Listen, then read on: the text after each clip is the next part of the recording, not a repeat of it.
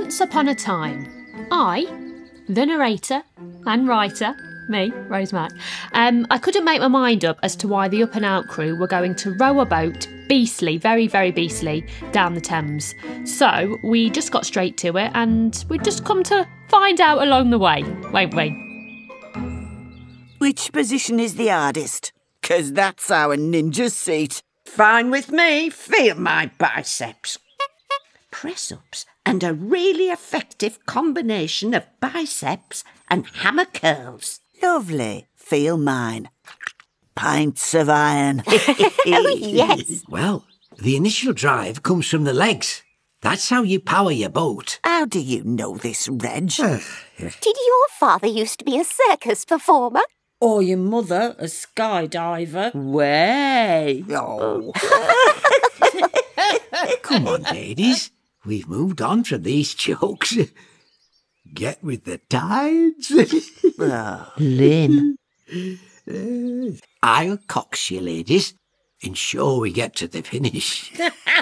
No, How no, about- no. We're keeping this PG. Oh, yes. You're the perfect size, Cox, Red. no, because he's small. As in, all good coxes are small. They are silly. You know what I mean. I do, Brenda. Right. Which one of you had your porridge this morning? Always. I had two biscuits and a cupcake. Well, that's not a good example to set, is it? Um, hmm. Brenda, you're behind me then.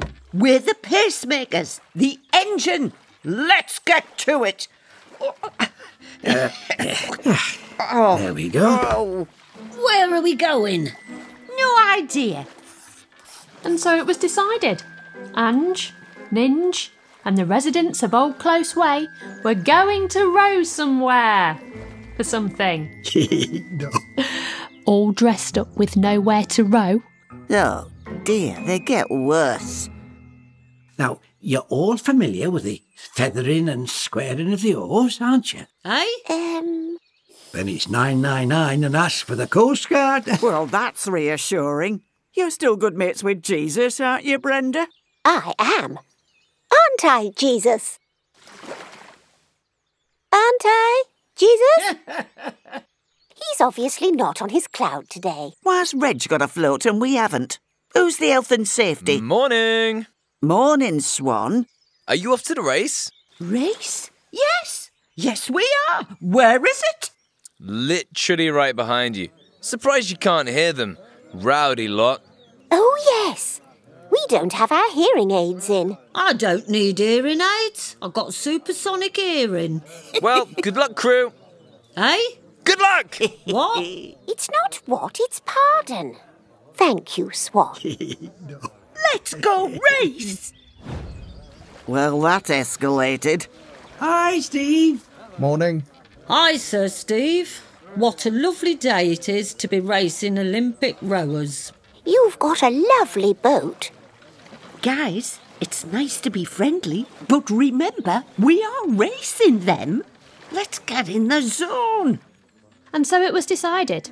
Ange, Ninge, and the residents of Old Close Way were going to race Olympic rowers. Um, in a what distance shall we say? Five thousand metre race? 5,000 metres, give over. A thousand is pushing it without my inhaler. Come on now, Miss Pints of Iron. At least 3,000 metres. How about we meet in the middle? 2,500 metres. We're going to race Olympic rowers in a five thousand metre race. God, honestly, lazy, lazy. Fancy putting a group of pensioners up against Olympic rowers. Ange, you're forgetting your speech in the last episode. Believe! The greatest battles have been won through sheer determination and self belief. We're all made of the same stuff. We can do this! Oh, yes. Come on, team! You've got this, ladies! We can win this! Let's make history! Righto. Ready? Go! That's it, ladies. Strong start. Power from the legs. Oh. Oh. God's sake, Anne. Your oars are going in too deep, Doris. It's unbalancing the boat. Oh. oh, for goodness sake, Doris. Concentrate on your own rowing. Well, it's hard when you're tipping the boat. Get out of my way. Oh, focus! We need to win. Keep those hands together, ladies. Teamwork wins races. Oh, for goodness sake. Longer on the stroke, Ange. Don't wait. Anticipate. How far ahead are they, Reg? They've finished. I oh. told you so. But, but don't, don't don't worry. Keep keep going. So much for self-belief. Moral of the story, ain't it? Work harder or lose. Not to worry. Oh, no, I've caught crabs. Dark horse, Brenda. That's right, isn't it, Reg? Caught crabs? Almost. And when you lose control of your oar, you caught a crab. Oh, caught a crab. I know what you're doing, Rosie Mac. Naughty girl. Ah, come on now, Brenda. Just row with it. It's awesome. Oh dear. Oh dear, terrible. They are terrible, to be fair. Easy oars, then. That's all right for you to say, sitting there doing nothing. It means stop rowing. Enjoy the river. Oh, oh, I'll let you off then. You did great. They are Olympians after all. Oh, thanks, Swan. Very kind of you. We should have done better. I got cramp in my foot as soon as we started. You need a Guinness ninge. Oh, yes. I wonder if you could help me. I seem to be tangled up. Oh, no. You poor thing. I know who can help.